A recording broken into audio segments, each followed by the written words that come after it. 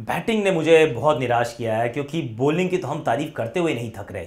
दो test matches चार पारियाँ, चारों पारियों में दस दस विकेट चटकाए भारतीय गेंदबाजों ने। और केप टाउन की दूसरी पारी की बात करें तो वहाँ तो दस में से नौ विकेट भारतीय तेज गेंदबाजों ने चटकाए, जहाँ पे पिच स्पिनर्स को मदद दे रही थी। तो फिर तारीफ़ करने योग्य गेंदबाजी ज़रूर की है भारत ने, लेकिन बल्लेबाजी बल्लेबाजी में रहा है थोड़ा सा भारत के लिए निराशा का सामना करना पड़ा है। चाहे वो मुरली विजय पहली पारी में क्यों ना हो वहाँ पे 46 रन तो बना दिए लेकिन मैं अब भुक्त भोगी हूँ मैं जानता हूँ। 40-45 से काम होता नहीं है। ना आपका अपना कॉन्फिडेंस बढ़ता है ना टीम का लाभ होता है और वो अपने आप को उसी जगह पे पाएँगे आ, कि 46 बनाए तो सही। लेकिन ना अपने काम आए, ना टीम के उतने काम आ पाए। बाकी तो किसी को स्टार्ट ही नहीं मिल पा रही। चेतेश्वर पुजारा दोनों पारियों में रनआउट हो गए।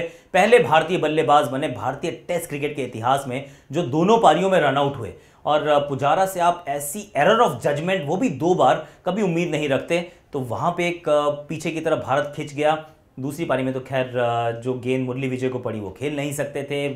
विराट को भी दूसरी इनिंग में गेंद बहुत कमाल की थी। रोहित शर्मा ने थोड़ा सा अच्छा ज़रूर किया दूसरी पारी में, लेकिन तब तक मैच जो था, या उसका कहीं नतीजा, औपचारिकता ही हो चुका था। तो भारतीय बैटिंग फेलियर ज़रूर भारतीय टीम को थोड़ा सा कचोट रही होगी कि ये एक मौका था जो हाथ से छिटक गया।